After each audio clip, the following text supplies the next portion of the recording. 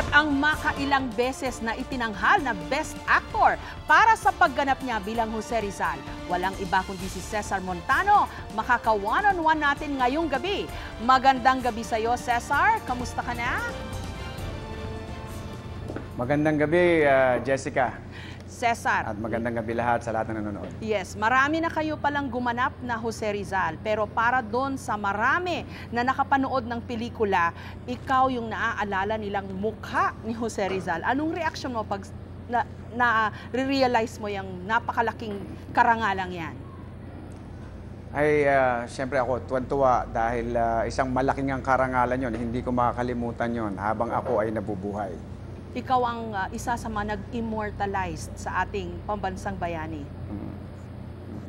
Totoo yon at ah, hindi ko kailanman pagsisisihan kahit gawin ko pa ulit ang Jose Rizal eh hindi ko pangihinayangan. Ilang buwan Sapagkat alam ko maraming buting may dudulot yan sa makakapanood lalo na sa mga kabataan. Yes. Ilang buwan nyo ba ito ginawa, ah, Cesar? Kasi alam ko, pag kayo mga artista, eh, may papel na ginagampanan, kailangan in character kayo kahit wala na yung camera minsan, di ba? Ilang buwan mo ba na isinabuhay pati sa yung personal na buhay? Itong si Jose Rizal.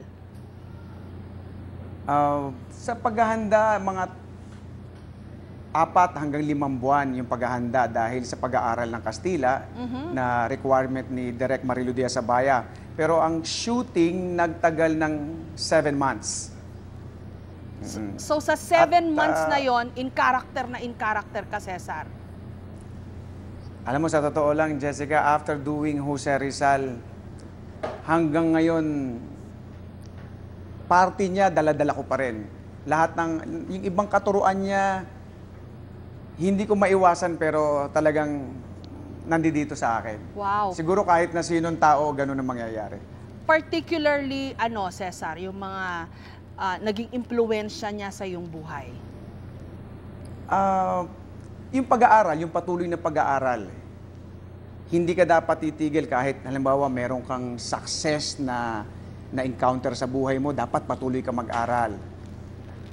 Ang ah, pag ah, pagmamahal sa sarili mong wika, pag-aaral sa pag, pagmamahal sa sarili mong kultura bilang Pilipino, yan ang dapat hindi mawala at patuloy nating ipaglaban sapagkat ang ang pakikipaglaban hanggang ngayon nangyayari. Kasi ngayon kung mapapansin natin, para bang ano ba talaga ang Pilipino? Ano ba ang kultura? Ano, paano ba talaga tayo magsayaw? Paano ba talaga tayo kumanta? Kasi nilalamo na tayo ng ah, kanluranin na, na kultura na hindi natin namamalayan na makikita lang natin sa ating mga anak. Wow, napakabigat ng iyong mga sinasabi. Pero Cesar, I understand, ni-research mo daw itong si Rizal. Uh, share mo naman sa amin yung mga na-discover mo na hindi pa namin nalalaman. Ano yung mga insights into his character na uh, bukod sa na-research mo and na-feel mo nung siya ay iyong ipinoportray sa pelikula? Ah, katulad na lang ng mga nabasa doon sa mga diaries niya. Kasi ito yung mga hindi lahat na ilagay sa libro nila Nick Joaquin at ni Saide at ni Maria Guerrero.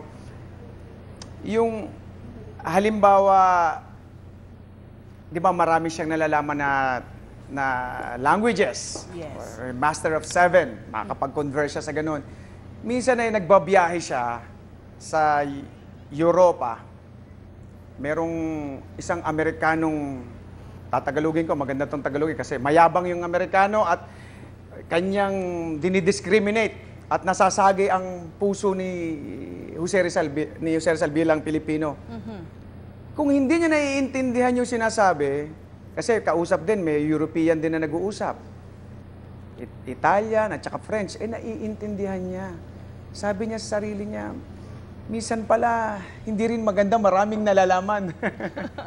at naiintindihan mo kasi marami kang makakalaban.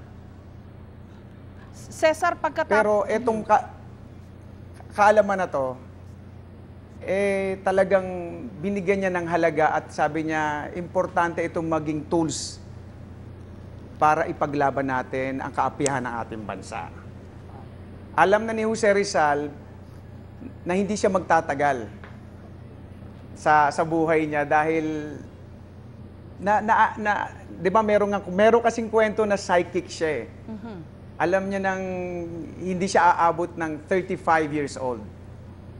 Noon. Akala niya 30 years old, mawawala na siya dahil dalawa siyang letters na binigay sa Portuguese. At ang kaya may, alam mo yung laang, laong laan na pangalan, ang ibig sabihin niyan, ever prepared. Mhm. Yan ang ginawa niyang pangalan niya dahil lahat ginawa, sinanda niya na, lahat ng sulat, pati yung ah, huling paalam. Kaya kung mapapansin niyo yung huling paalam, sinulat niya yan, kabilaan niya, nasa maliit na papel, na walang mali.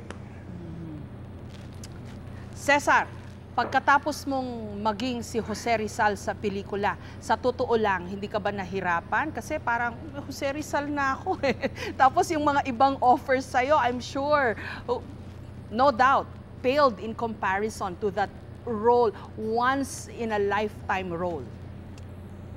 Totoo yun, napakahirap gampanan ng Jose Rizal. At napakahirap din pagkatapos gampanan sapagkat dala-dala mo yung kanyang pinaglalaban. Mhm. na hanggang ngayon, kahit, kahit ayaw mo, eh, talagang mapipilitan kang, kasi nalaman mo yung katotohanan eh. Alam mo kung ano yung totoo eh, at yun ang nasa puso mo.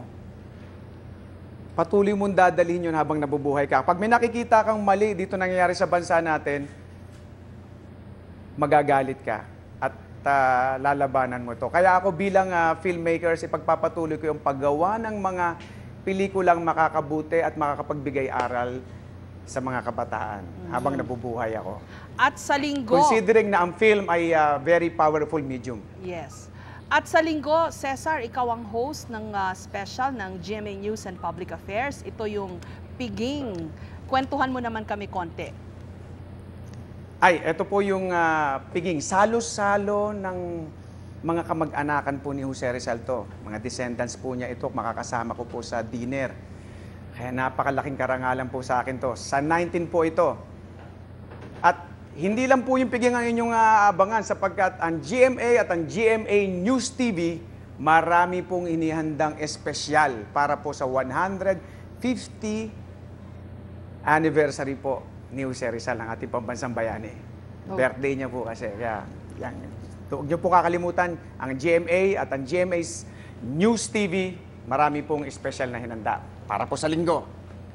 Cesar, Yan. birthday message mo sa ating pambansang bayani. Kung nabubuhay siya ngayon, anong Ah. sasabihin mo sa kanya?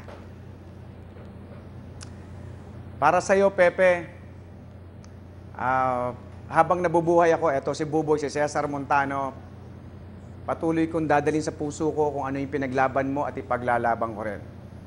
Kung paano mo minahal ang edukasyon, yun din ang ipamumulat ko sa aking mga anak. At ah, hindi, idi, sasabihin ko sa kanila na isabit nila sa leeg nila yon at huwag nilang kakalimutan. Dahil alam ko na ang anong klasing libro ang binabasa mo at kung anong klasing kaibigan meron ka, masasabi na kung anong magiging kinabukasan mo. Kaya para sa mga kabataan, hindi nyo na kailangan ng fortune teller. Kung masasabi na kung na kahit na sino, kung anong librong binabasa nyo, yun ang future nyo. Kaya dapat pagandahin nyo yung libro nyo sa, sa inyong tahanan. Si Jose Rizal, may 1,000 books nung bata pa sa Kalamba, sa bahay nila. Sila lang ang meron nun. Okay, maraming maraming salamat sa iyo, Cesar Montano. Maraming salamat din po ah, sa pong karangalan. Sa linggo,